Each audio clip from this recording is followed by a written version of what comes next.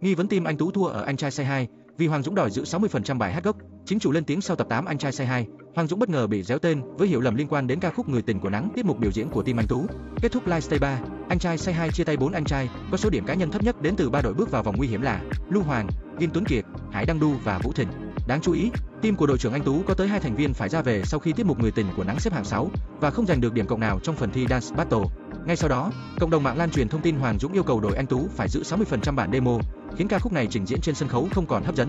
Thậm chí, có ý kiến cho rằng vì lý do này người tình của nắng không thể bứt phá và là nguyên nhân khiến cho tiết mục của nhóm Anh Tú đứng thứ 6 cho bảng. Thông tin trên bắt nguồn từ một chia sẻ của Captain trong bài phỏng vấn.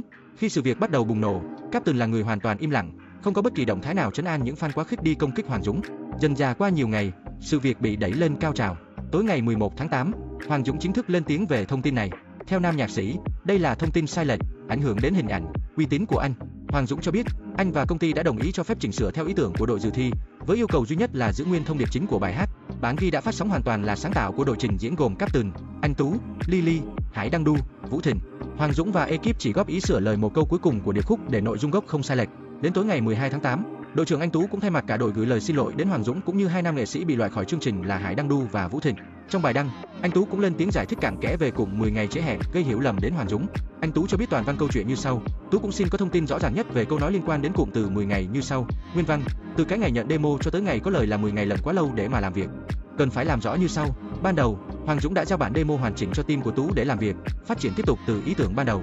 Sau khi nhận bản demo, Tú cùng đồng đội bắt đầu các khâu về viết lời, làm lại phần nhạc, căn chỉnh con số 10 ngày chính là chỉ quãng thời gian Tú cùng đồng đội làm việc dựa trên bản demo, hoàn toàn không liên quan đến việc Hoàng Dũng giao demo hay gửi lời bài hát chậm.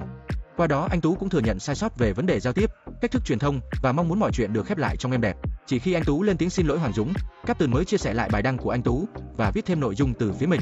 Đồng thời anh cũng chia sẻ thêm trong group chat riêng. Bên cạnh đó, nhiều người cũng đặt ra một câu hỏi lớn dành cho nhà sản xuất của chương trình. Chính nhà sản xuất đứng ra kết nối hai bên với nhau, đưa ra đề bài và luật chơi giữa Hoàng Dũng với đội thi. Tuy nhiên khi sự việc nổ ra, nhà sản xuất hoàn toàn im lặng, để mặc hai bên có hiểu lầm trầm trọng, phải mang lên giải quyết trên mạng xã hội một cách ầm ĩ, dù ban đầu sự việc không quá nghiêm trọng đến mức vậy.